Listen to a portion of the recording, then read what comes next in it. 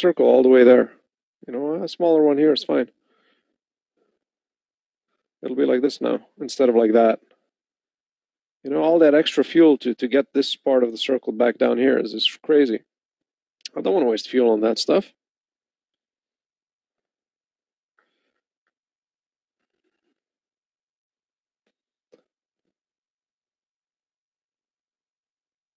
Don't want to waste fuel on that stuff. Hmm. Shall it work? Shall it not? That is the question. I have no idea, to be honest. I never tried